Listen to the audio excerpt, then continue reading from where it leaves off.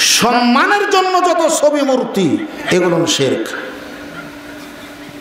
আমি উত্তেজিত হইনি, এমনিতে ঘামতেছি একটু। ভয়ে না, জ্ঞান ভালো আছে, বিশ্বাস করি। মূর্তির বিরুদ্ধে বললে, ছবির বিরুদ্ধে বললে হয়তো আমাকে ধরবেন হ্যান্ডকাপ লাগাবেন জেলখানে নিয়ে যাবেন, ফাঁসি দিবেন, এটা আমি জানি। এটা আমি জানি।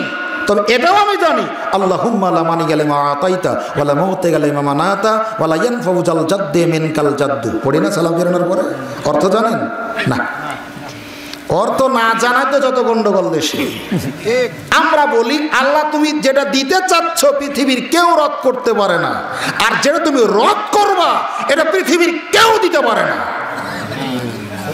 ক্রস ফায়ারে যদি আমার মৃত্যু থাকে পৃথিবীর কেউ বাঁচাতে পারবেন আর যদি আমার ক্রস ফায়ারে মৃত্যু না থাকে কেউ আমাকে মারতে পারবে? এটা আমি বিশ্বাস করি। আমাকে ঠেকাবেন মূর্তির বিরুদ্ধে বললে যে দেশের অসংখ্য মানুষ টাকার অভাবে চিকিৎসা পাচ্ছে না। যে দেশের অসংখ্য মানুষ অসুস্থ টাকার অভাবে চিকিৎসা পাচ্ছে না। সেই দেশের জনগণের ইনকামের ট্যাক্সের ভ্যান চালানো, দিন মজুরি দেওয়া টাকা দিয়ে রাস্তাঘাটে মূর্তি বানিয়ে জাতির কখনো কোনো কল্যাণ হতে পারে? অসম্ভব। আল্লাহ নবী বলছেন, অত দিন কিয়ামত হবে না। যতদিন, অত দিন কিয়ামত হবে না, যতদিন ঈশানবী পৃথিবীতে না আসবেন। হবে কিয়ামত? ঈশানবী আসার আগে কিয়ামত হবে? ঈশানবী এসে কয়েকটা গুরুত্বপূর্ণ কাজ করবেন। এক শুকুর হত্যা করবেন। কি হত্যা করবেন? সোর খিঞ্জির হত্যা করবেন থাকবে না পৃথিবীতে দুই জিজিয়া তুলে দিবেন। ট্যাক্স চকিদারি মাস্তানি টেন্ডারবাজি দখলবাজি। রাস্তাতে ভ্যানে রিক্সার অটোর সিএনজির ট্রাকের এই টুল শুল্ক আদায় করা বন্ধ করবেন থাকবে না লাগবে না। এরপর একটা কাজ তিনি করবেন। যত ছবি মূর্তি রাস্তা ঘাটে মোড়ে মোড়ে অফিস আদালতে আছে, বাপের চাচার, চাচাতো ভাইয়ের, খালাতো ভাইয়ের, মামাতো ভাইয়ের, সবার মুখে লাঠি দিয়ে তিনি ভেঙে ফেলবেন। এর আগে কি আমত হবে না। আমাকে নয় ক্রস ফায়ার দিবেন, তো ঈশা নবীকে মারবেন কি দিয়ে? আমাকে না হয় মারবেন, আমার আর কয় পয়সা দাম? কি বা দাম আছে? তো ঈশা নবীকে ঠেকাবেন কি দিয়ে? সেই দিন? অতএব মেনে নেওয়াই ভালো হবে। অতএব হাদিসটা মানাই ভালো হবে। অতএব হাদিসটা মানাই ভালো হবে। অতএব হাদিসটা মানাই ভালো হবে। আপনাকে বলছিলাম, এর পরের বিষয়। যাবতীয় শেরক বর্জন করুন, ইবাদত থাকবে না। যাবতীয় শের বন্ধ করুন, ইবাদত থাকবে না। বহু শের কাছে ওই দিকে আজকে যাব না। নির্ধারিত একটা বিষয় হওয়া উচিত ছিল শেরকের। দুই। বলেন, কি বলেছিলাম? বলেন। প্রচলিত যে তাফসির হাউমাউ করে শুনে, একটু ব্যতিক্রম, কিছু বাড়ি পর্যন্ত নিয়ে যেতে হবে। দুই পাগল খুব বন্ধুত্ব, যেখানে জালসা সেখানেই যায়। এক জাল সাথে এক বন্ধু যায়নি। সকালবেলা যেই বন্ধু গিয়েছিলে, গল্প করছে, দোস্ত, তুই না যেটা ভুল করেছিস কেন? তো হুজুর এমন বয়ান দিছে না, একটা মানুষও না এমন যে কাঁদেনি। তো দোস্ত বল দেখি কি ওয়াজ তো বলছে আল্লাহর কসম একটাও মনে নেই। এরকম বক্তব্য আমরা দিতে রাজি না কিছু বাড়ি পর্যন্ত নিয়ে যান। এক নম্বর ছিল তাওহিদ আর শেরক। দ্বিতীয় নম্বর কি ছিল? বলেন। তাওহিদ শেরক মিলে একটা। পরেরটা কি বলেন? সুন্নাত। এবং বেদাত আল্লাহর একত্ববাদকে একচ্ছত্র মালিকানাকে অস্বীকার করার যেই পাপ, তার নাম শেরক। আর স্বীকার করা হলো তাওহিদ। রসুলকে অস্বীকার করার যেই পাপ, সেটা হলো বেদাত। মেনে নেওয়ার যেই নীতি, সেটা হলো সোমনাথ কথা বুঝতে পারেননি? শরীয়তের নামে, ধর্মের নামে যা কিছু করবেন, নবীর তিনটি বিষয়ের সাথে মিল থাকতে হবে। এক, হয় নবী করেছেন, না হয় নবী বলেছেন। না হয় নবী অনুমতি দিয়েছেন। বোঝাতে পারেনি। বোঝা যায় বোঝা যায়। শরীয়তের নামে ধর্মের নামে শরীয়তের নামে ধর্মের নামে বক্তব্যে হোক আলোচনায় হোক দেশে হোক বিদেশে হোক যা কিছু করতে চাচ্ছেন বা যাচ্ছেন ধর্মের নামে যদি হয় তাহলে নবীর তিনটি বিষয়ের সাথে হমিল থাকতে হবে। এক হয় নবী বলেন? বলেছেন। হয়তো নবী বলেছেন।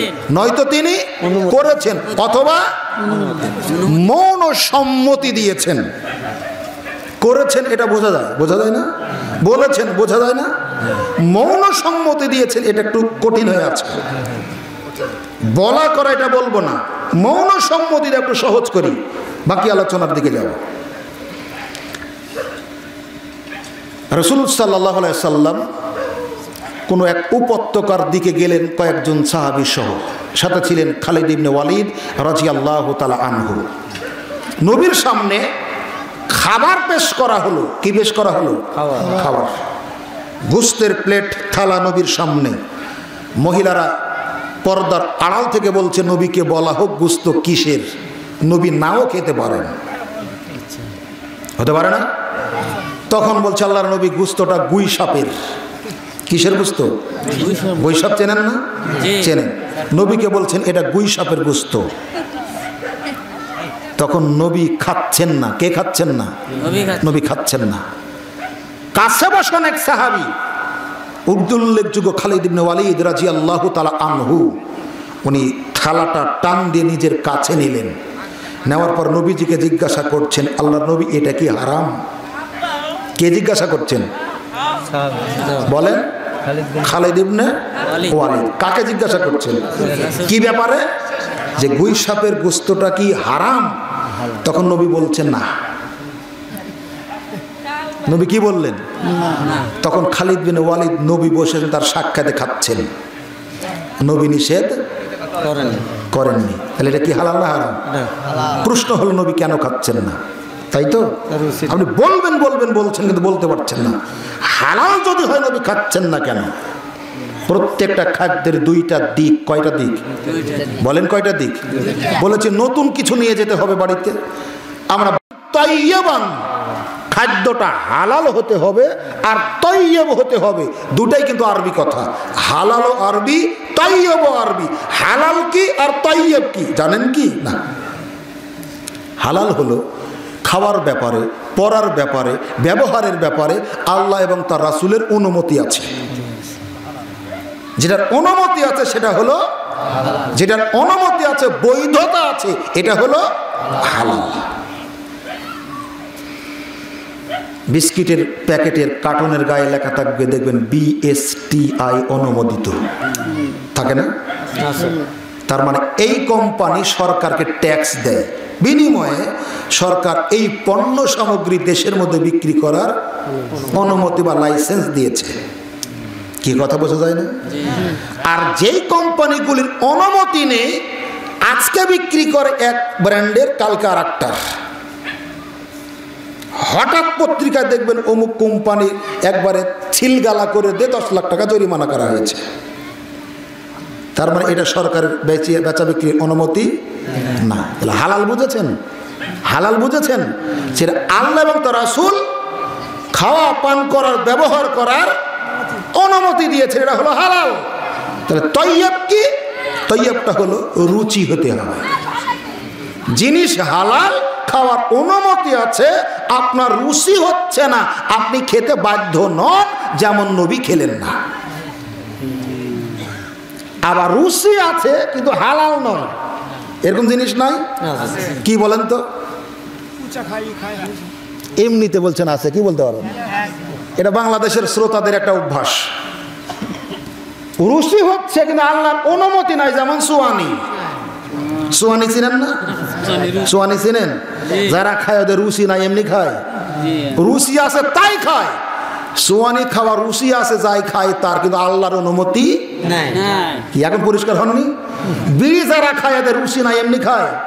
কুত্তায় বিড়ি খায় জি না। গরুয়ে বিড়ি খায় শুকুরে বিড়ি খায় কিন্তু মানুষ তো খায়। এদের রুচি আছে বলে খায়। কিন্তু হালাল নয়।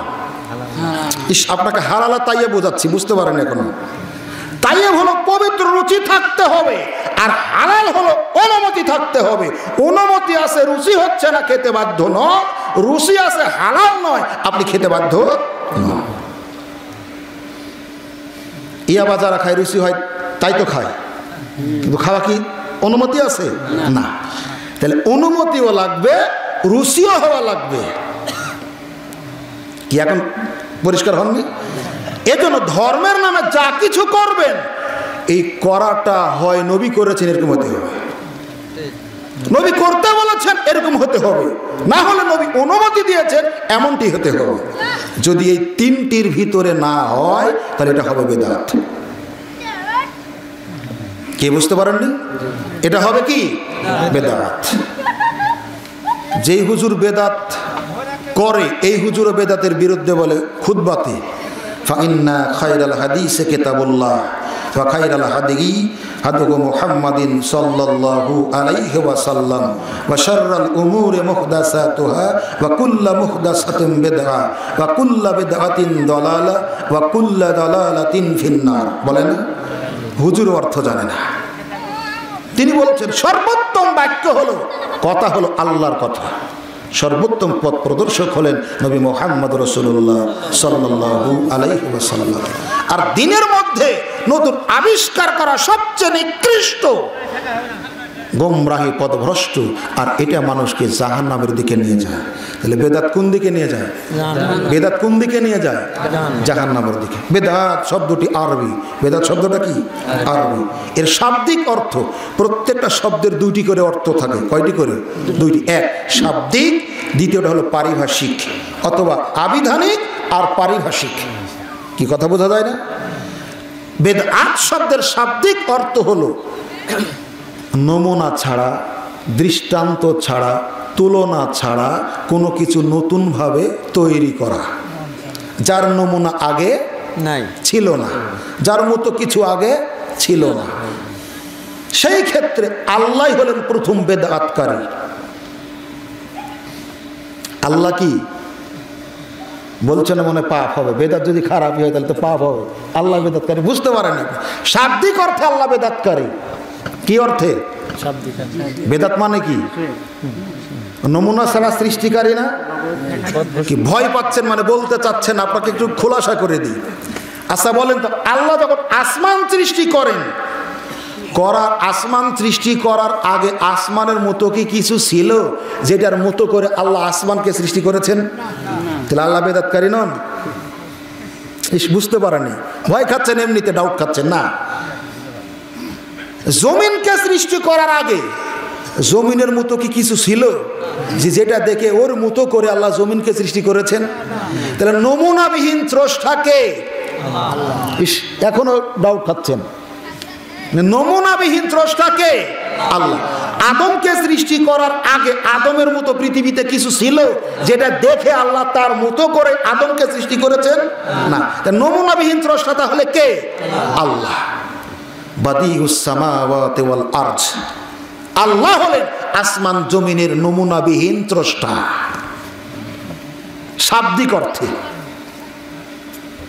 পারিভাষিক অর্থে, ধর্মের নামে নবী যেটা করেননি, বলেননি, অনুমতি দেননি, এমন কোনো কেউ যদি তৈরি করে, বানিয়ে, আবিষ্কার করে, ইবাদত মনে করে, চালু করে, সেটা হবে বেদাত।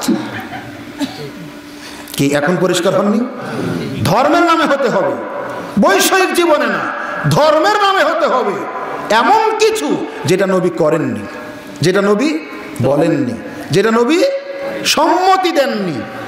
এমন কোনো বিষয় মানুষ যদি বানায়ে ধর্মের নামে আমল করা শুরু করে, তাহলে সেটা হবে বেদাত। নবী মাইকে কথা বলেছেন? নবীর জামানা মাইক ছিল? মাইক বেদাত না? বেদাত। মাইকও বেদাত।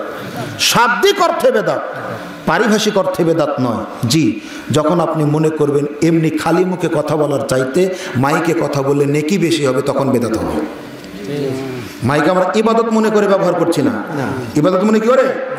নবীর জামানায় বিদ্যুৎ ছিল। আমরা বিদ্যুৎ ব্যবহার করছি। তাহলে বিদ্যুৎ ব্যবহার করাটাও বেদাত? শাব্দিক অর্থে বেদাত পারিভাষিক অর্থে বেদাত নয়।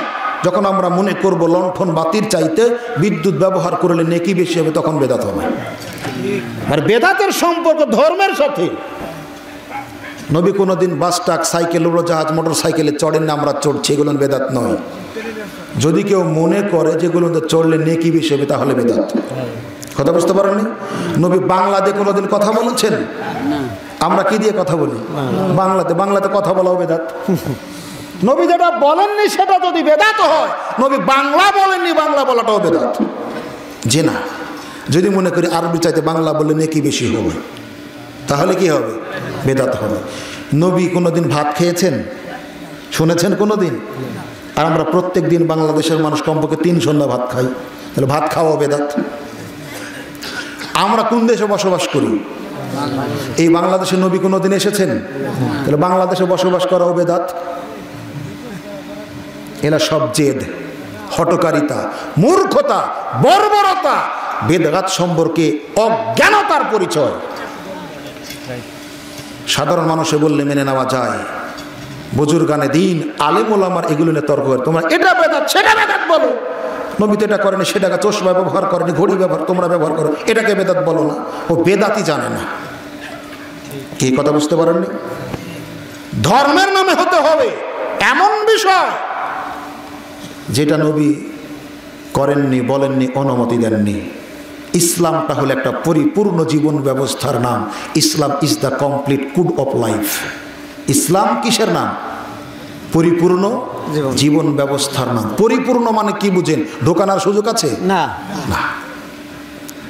ধরে নিন এক গ্লাস দুধ খাঁটি এখন আপনি গাভী থেকে দহন করেছেন। গ্লাসটা কানাই কানাই পূর্ণ। এখানে ঢোকানোর কোনো পরিবেশ না যদি এখানে পানি ঢুকানোর চেষ্টা করেন কি হবে? কি পড়ে যাবে? খালি দুধ পড়বে? পরিপূর্ণ এক গ্লাস দুধ। এর মধ্যে পানি ঢোকানোর চেষ্টা করছেন খালি দুধই পড়বে? পানিও পড়বে দুধও পড়বে। আর গেলাসে যেটা অবশিষ্ট থাকবে এটা কি খাঁটি দুধ থাকবে? খাঁটি দুধও থাকবে পানিও থাকবে। নবী বলেছেন, যখন একটা মানুষের ভিতরে বেদাত ঢুকে, সমপরিমাণ ছন্না তার ভিতর থেকে বের হয়ে আসে। কারণ মানুষ তো কমপ্লিট ফিতরা। প্রত্যেকটা শিশুই তার ফিতরাতের উপর জন্মগ্রহণ করে। যেই সুন্নাটা মানুষের মধ্যে থেকে বের হয়, কেয়ামত পর্যন্ত তার ভিতর আর ফিরে যায় না। বেদাতের কারণে বেদাতি আমল দিয়ে মনে করে জীবনে বহু আমল করলাম আল্লাহর কাছে যাওয়ার জন্য। কিন্তু বেদাতি যতই বেদাতি আমল করে, আল্লাহর সাথে তার সম্পর্ক তত দ্রুত বৃদ্ধি পায়, আরও বেশি দূরত্ব হয়, কাছে যায় না। এজন্য হাসান বাসরি বলেছেন, তুমি বেদাতির কাছে বসো না। তুমি যদি বেদাতির কাছে বসো, তাহলে তোমার অন্তরকে রোগাক্রান্ত করে দিবে, অসুস্থ করে দিবে। ধর্মের নামে বহু মুরব্বী মিথ্যা কথা বলে। ফজিলতের কথা বলে। ওদেরকে বললে বলে, দিনের পথে নিয়ে আসার জন্য এরকম কথা বলা যায় আছে কত হাজারো মুরব্বী এরকম মিথ্যা বলে, অসংখ্য মিথ্যা বলে, লাগামহীন মিথ্যা বলে। আপনাকে বলছিলাম, ওদেরকে বললে বলে, মানুষকে দিনের পথে নিয়ে আসার জন্য এরকম মিথ্যা বলা যায় অথচ নবী বলছেন, মান কাদাবা আলাইয়া মতো আম্মেদান ফালাইয়া তাবাউয়া হুমা কাদা হোমেনান্নার ইচ্ছাকৃতভাবে যে ব্যক্তি আমার উপর একটা মিথ্যারোপ করে সে যেন তার থাকার জায়গা জাহান নাম বানিয়ে নেয়। আমল বেশি হবে নবীর পদ্ধতি অনুযায়ী হবে না এই আমল পরকালে কোনো উপকার আসবে না। আসবে না। দলিল বুখারি মুসলিমের হাদিস। আনাস রাজি আল্লাহ তালা আনহু বলেন রসুল সাল্লাহু আলাইহি ওয়াসাল্লামের বাড়িতে তিনজন লোক আসলো। কয়জন লোক? তিনজন। তিনজন। নবী বাড়িতে ছিলেন না। তার স্ত্রীদেরকে জিজ্ঞাসা করা হলো নবীজি রাতের দিনের ইবাদত কেমন ছিল? ধরন কেমন ছিল? পরিমাণ কেমন ছিল? যেমন ছিল তেমন বলা হলো। শুনে প্রশ্নকারী তিনজন লোক নিজেদের জন্য খুব অল্প মনে করল, হালকা মনে করল, কম মনে করল। কেন? তারা বলছে, কোথায় নবী আর কোথায় আমরা? নবী হওয়ার আগে যা পাপ ছিল, আল্লাহ ক্ষমা করে দিয়েছেন। নবী হওয়ার পরে যে ছোটোখাটো ত্রুটি বিচ্ছিতি ছিল, সেটা আল্লাহ ক্ষমা করে দিয়েছেন। যার জীবনে কোনো পাপ নেই, শুধু আমল আর আমল।